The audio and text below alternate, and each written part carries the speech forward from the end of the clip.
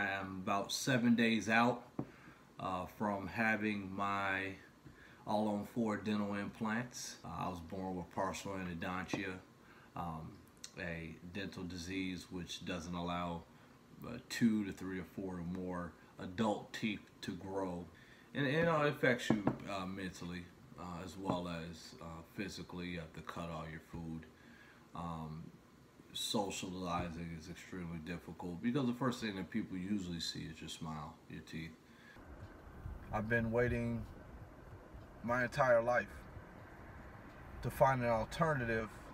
I knew I didn't want dentures.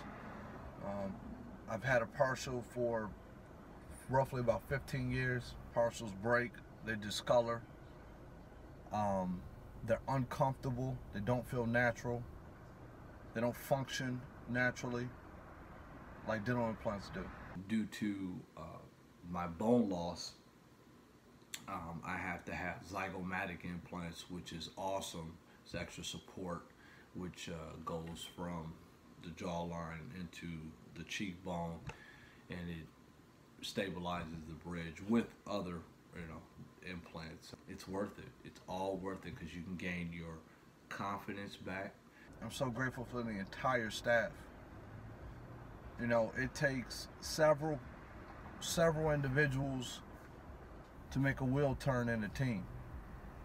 And just the amount of gratitude that I feel, how thankful I am, I, words can't even explain it.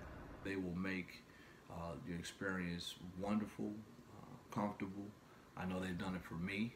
Uh, I've been the clear choice. I've been to several doctors, uh, dentists, excuse me, several dentists um, to see my alternatives and my uh, what my options are, and I've been all over. I would say 10 plus places, and New Teeth now at Lakeland, Florida.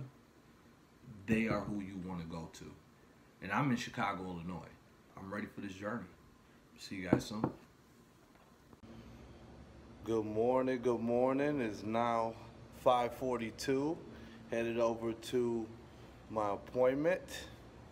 Say hello, babe. So excited. About to go get this appointment done, do the pre-op, then go into surgery. It's been a long journey, long road, but the day is officially here. Good luck to me.